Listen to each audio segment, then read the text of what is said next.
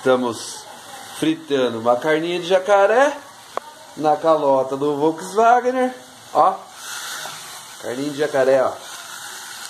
Chega pula. Calotinha do Volkswagen. Tô calando a carne aqui, ó. A carne de jacaré ela pula, tá? Ela vibra. Ó. Ela se chacoalha inteira quando você tá fazendo. Ela já tá quase no ponto já. Dá uma boa cozida, né? Aí o que, que nós temos aqui?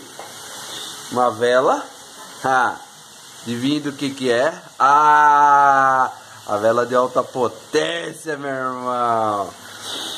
Ah, a vela tem que ser do opalão, né? E daí a carninha de jacaré aqui, ó. Pá. Já calei ela. E agora vamos deixar a bicha fritar bem gostosinho.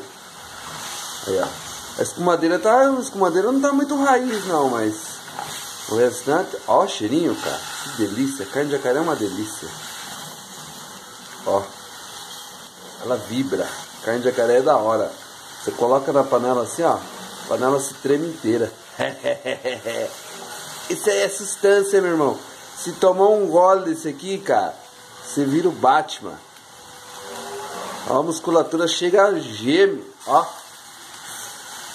Isso aqui é uma delícia, cara. Carninha de jacaré. Feito na calota do Fusca. Com a vela de opala. Ah, bichão. Vou deixar bem moreninho.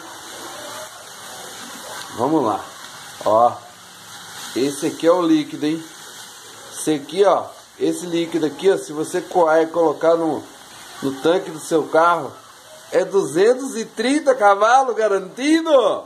Ah, tá tirando, leque leque. Aqui é mecânico raiz, ó. Carne de jacaré. Vamos deixar ela bem moreninha. E depois eu vou fazer um arroz para acompanhar a minha iguaria. Carne de jacaré na calota de fusca. Chora, chora. Vocês não sabem o que é isso. Vocês tomam tarde, seus frangos.